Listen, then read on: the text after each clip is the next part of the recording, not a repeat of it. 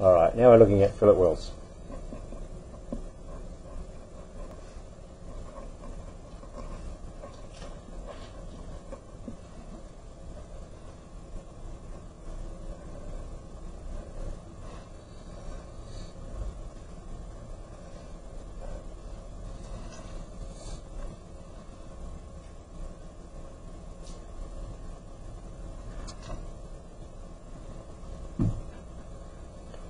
Okay, what type of joint we got here?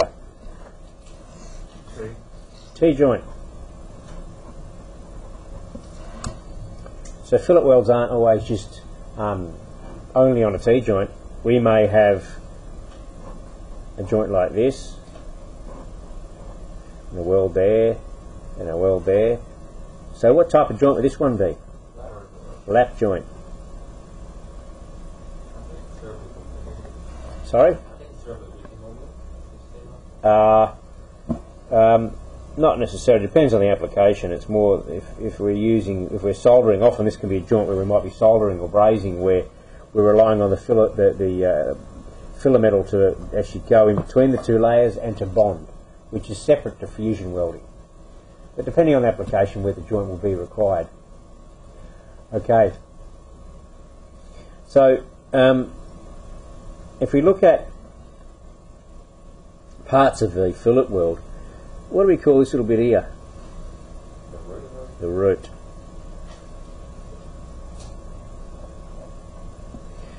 So that's where it's very hard to tell if you've got fusion in the root with a fillet. Can't do it through a visual inspection because uh, you can't see. With a butt weld, of course, you can flip it over and have a look at the other side of the joint. So often, and especially, what's the good thing of what we do when we're welding it, um, 12 mil plate. Our fillets are done in our workshop on 12 mil plate. And then we can break these welds open, of course. And then once you've broken them open, you can reuse them and reposition them. But, but as you're doing that, of course, you can have your visual look inside and inspect inside the weld and see how the root's looking. Now, first up, we don't try, and at this level where we're at, I'm not worried about you trying to get that fusion. Um, that's not my, my, my, priority. The priority is you getting uh, on the you know the visual appearance is pretty good, um, and the just the even uniformity of the actual weld deposit and the along the toes and so forth. That's more of a priority. That'll come later. Looking at fusion later will come later, but it's the important aspect. So we're aware that's the important aspect, this important corner of the weld there, that root, because that's where the strength is um, stems from that point. So root is, is the very important part of a fillet weld. And then we have this one here. What's that distance?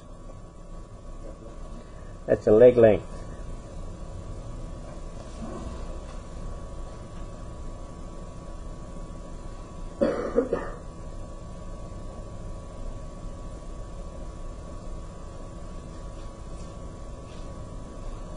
leg length.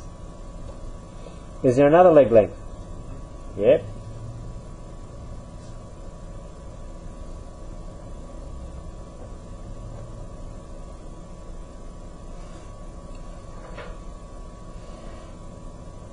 So how we measure the leg length, I mean, how we measure a weld is through the size of the leg length. And we put that little fillet weld gauge on there to get our sizes. And that's measuring from here to from the from there to there, and from there to there. And we're checking, and it should be even both ways. It should be the same distance that way as it should be that way. Often you get welds that are looking like this all right, and that's a defect because you haven't got an even deposit on both on both sides. So you're looking for that even deposit and the leg length to be the same. That's what we're looking for, a nice uniform fillet weld. Then we have this here. What do we call that? Toe. Is there another toe? Yep. yep. That one as well.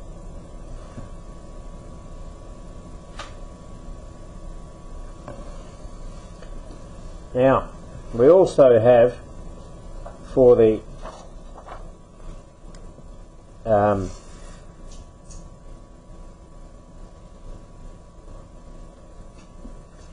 through here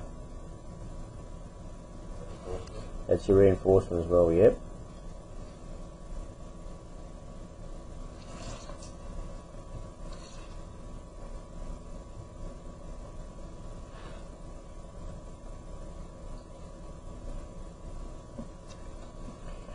Reinforcement.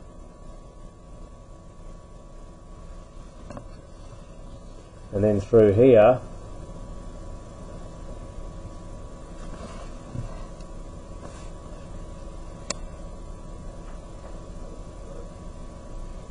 Yep.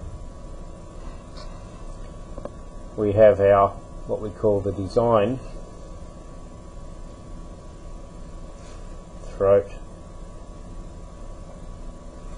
thickness.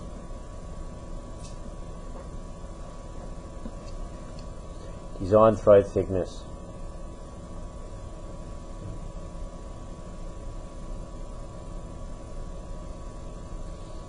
And you can also put in here just this one pointing to there.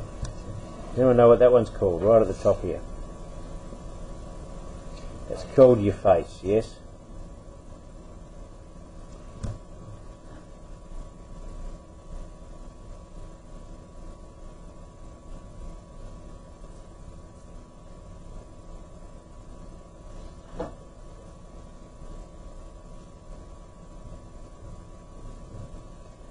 Okay. So they're the parts of the of the fillet weld. They're the, they're the fillet weld parts. We we uh, traditionally draw the T joint, which is this, but you can get a lap joint. Okay. Um, you can have an outside corner. If I did that here, I'd have you're making you've been using this sort of joint when you make a water container. So that's a, still a fillet weld, but it's an outside corner. Corner fillet. Here we have still have a fillet weld there. We call this an inside corner fillet.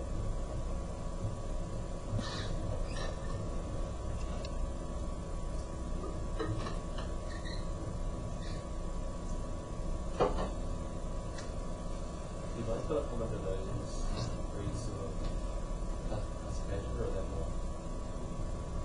more? Ah, there'd probably there might be a variation of that, but that's pretty much sorts of would sum it up. I'd say. Then we have looking at um, a distortion again here on the fillet, on the T joint. Now, again, I draw a T joint, and then I draw, and then I put a, um, I deposit a weld on that fillet. Now, again, the surface of that weld, just like on the butt weld, the surface is going to contract and distort and pull, and it's going to contract this way. Is it want to go? Is the weld? Is the this plate here at the top? Is it going to want to go that way or that way? To the right, isn't it? It's going to pull like that. Alright? So if, if I've got to control that, and pre-setting is another thing, you know, we were talking about bending plates before we weld them or try and, you know, or we can just offset them. So in this case, how I would have done this, I would have assembled this by that, knowing that I was going to weld, exaggerated, and I was going to weld this side, I'd be just pre-setting it back a bit so that when it contracts, it allows for pulling it up straight. Okay? So we always try and allow for that. Remember, a distortion you don't eliminate, you're just trying to manage it and control it and get the forces to work for you. Okay, so that's it for um, fillet welds as well. Just thing, thing to be aware of when it comes to any weld deposit, whatever it is, whether it's a butt weld or fillet weld, the more reinforcement you deposit, the worse that distortion is going to be. Alright? So if I've got a, a nice butt weld here, and I've put a bit of a, a nice, just a nice little, a nice little bit of reinforcement on top of that weld, that it's still going to contract, but I'm not going to have a problem like I would do with that. That's major. That extra weld you put in distortion problems become huge. Okay. slow cooling help as well? Sorry? Does slow cooling also help to distortion? Uh, not so much. I mean, it, it would a little bit. It's better than throwing in a bucket of water. But, um, you know, the whole idea for preheating is not about distortion. The whole idea for preheating is to slow that cooling rate of the weld. Alright? Remember that. Okay? Now, I want you from here on in, try and avoid now cooling your, you know, when you're doing a welding unit here, yeah, cool your plates down to help it in a second get into the welding engine. But when you start fabricating items, especially in the workplace, don't throw them, don't cool them down, don't rapidly cool them. From here on in, try and just let them naturally cool. Okay? The workshops have been kind of hard water bath. Not really.